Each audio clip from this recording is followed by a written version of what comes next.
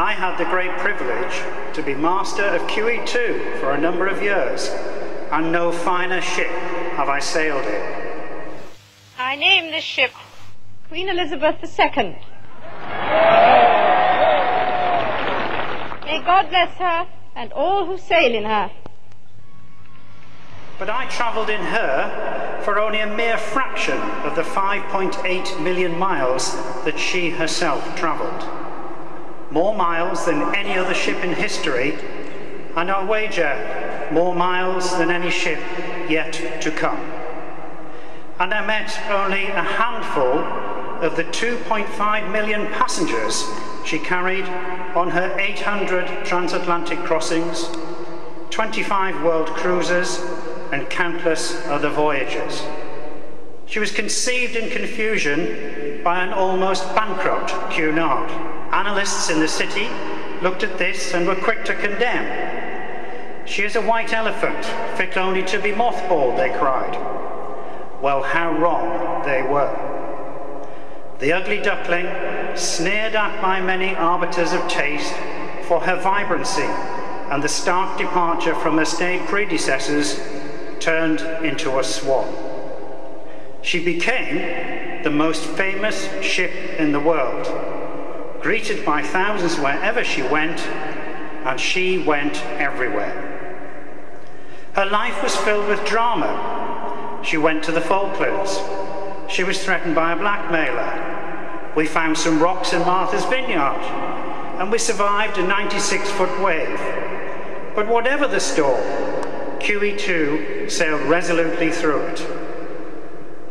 But the day which had to come one day came on the 11th of November 2008, and I was on the bridge to take QE2 up Southampton Water for the 726th time, the last time.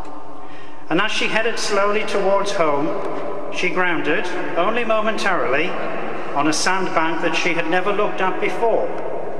And to me, she was saying, I really don't want to go.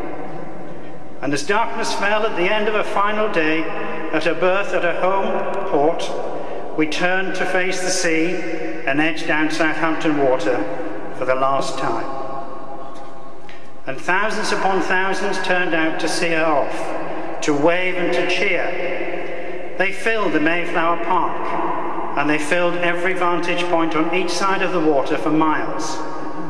They sent off rockets and lit bonfires, and as far as the eye could see, flashbulbs popped in their millions. A flotilla of boats followed us all the way to the sea, but she didn't want to go. I didn't want her to go, and not one of those who came to wish her well wanted her to go either. But go she must. It was time to say goodbye.